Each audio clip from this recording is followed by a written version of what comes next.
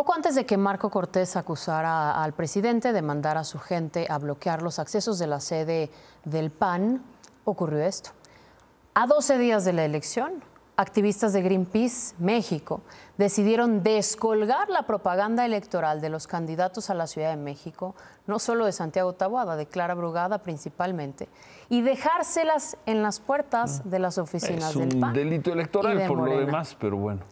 El fin de semana hicieron la colecta, Ciro de pendones, de lonas que recogieron en puentes peatonales, postes, camellones en cinco alcaldías principalmente, Coyoacán, Tlalpan, Benito Juárez, Iztapalapa y Miguel Hidalgo. Y hoy llegaron aventárselas ahí. La basura electoral que han dejado las campañas políticas es una mala elección, expuso Greenpeace en un comunicado y de acuerdo con la Fundación por el Rescate y Recuperación del Paisaje Urbano, este año se puede llegar a producir al menos 25 mil toneladas de basura electoral solo en la Ciudad de México. Esto según Greenpeace sería el doble de la basura que dejó la elección pasada.